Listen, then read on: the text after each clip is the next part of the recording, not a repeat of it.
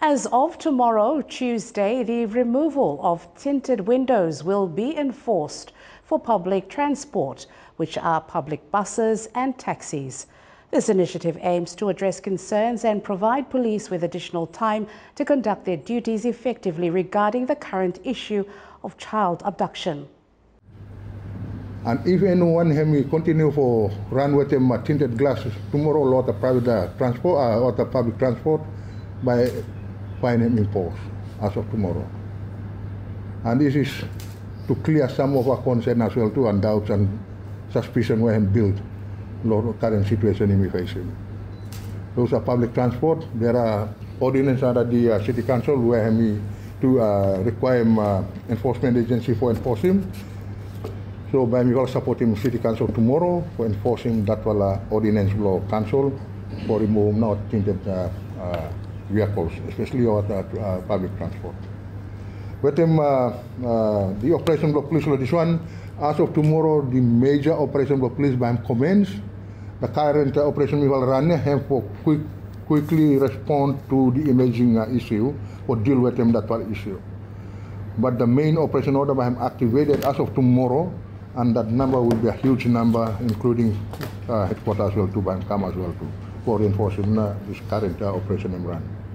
And that operation will run throughout uh, this month, even throughout November until December.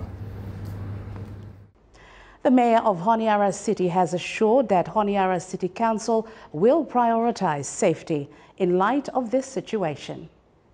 Uh, on Friday, uh, my executive mihala meet and uh, mihala pass him uh, that uh, public transport by remove things from.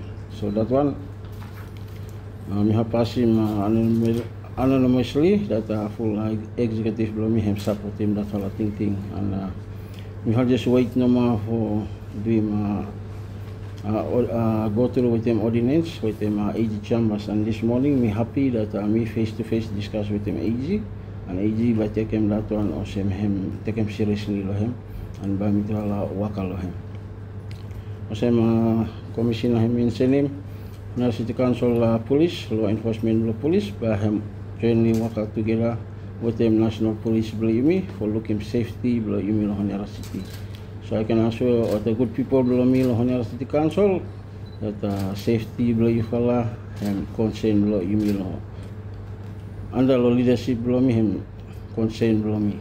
So by make sure that uh, safety below people and all properties you fella by me look after.